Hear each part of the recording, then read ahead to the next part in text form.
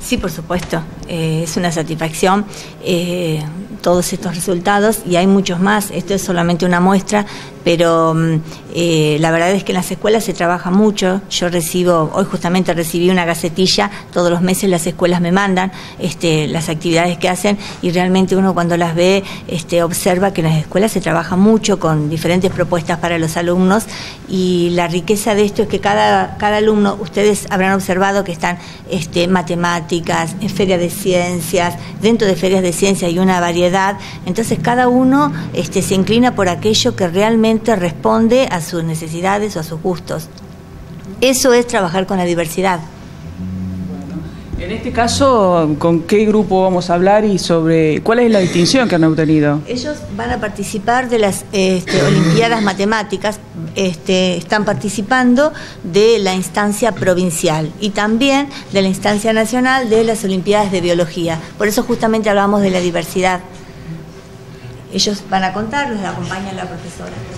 A ver, eh, cuéntenme el grupo, a ver, de biología primero, así no nos confundimos. ¿Cuáles son? A ver.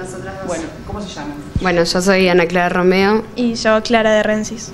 y venimos participando de las Olimpiadas de Biología desde hace varios años, eh, pero mm, habíamos participado dos veces del Nacional y bueno, este año que es el último, eh, tuvimos la, la suerte, digamos, o pudimos llegar otra vez al Nacional y estamos contentas porque podemos aprovechar que es, eh, como dije, el último año en el que podemos participar de esta instancia. ¿Cómo se preparan? No, bien, todavía no, no estudiamos nada en- porque nos enteramos hace poquito antes de empezar Naciones Unidas. Y también aclarar que la Olimpiada de Biología se hace en grupos de tres, somos nosotras dos y otro chico de la escuela normal que se llama Ernesto Araya Páez.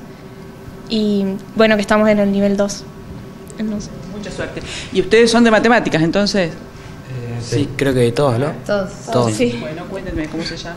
Eh, yo soy Francisco de Ram, voy al Colegio San José.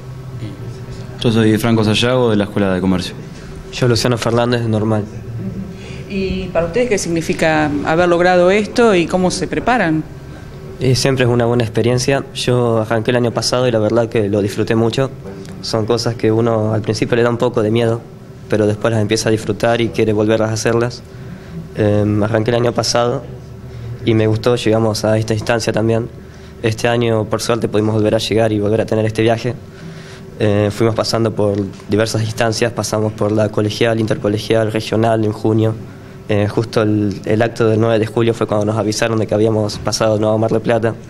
Y fue una, una linda noticia y también es una buena experiencia, así que siempre contentos de participar. Haciendo cálculos, entonces.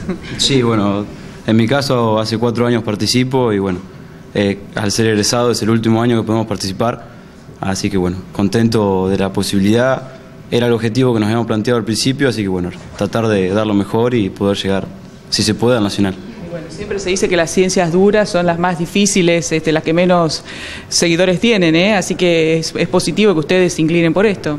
Eh, sí, es positivo ya que es algo que aunque sea parte de la escuela se disfruta mucho más que adentro de la escuela.